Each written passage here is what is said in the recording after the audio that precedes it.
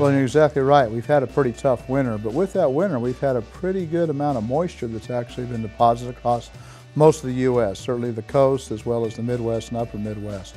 With warming temperatures and, and good soil moisture prevalent, I expect we'll see lots of habitat growth, and then with that, the insects will be warming up. They'll be foraging for food, looking for new nesting sites, but also reproducing, which means I think the pressure is going to be heavy across a lot of parts of the U.S.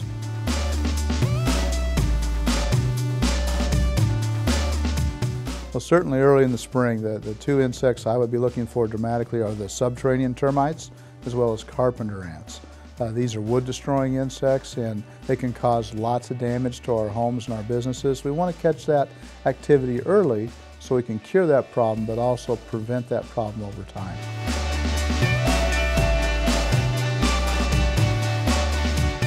Yeah, well, let's take uh, subterranean termites for an example. There's a lot of great things we can do to catch that activity. On the outside, we want to look for areas like wood to soil contact, kind of probe those areas and see if there's any termite activity there.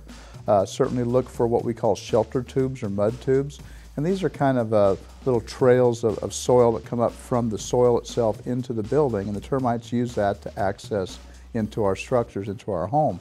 On the inside of the home, we want to look for things like uh, what we call uh, uh, pinpoints or, or uh, shelter material that's on sheetrock that might have a little bit of soil within it or maybe even some tunneling there. And anything that looks like moisture damage, that could be certainly caused by the insects. And lastly, if we have flying insects inside the home, might be ants, might be termites, let's get them collected, get them to a professional, and let's find out exactly what's going on and put a plan in place to solve the infestation.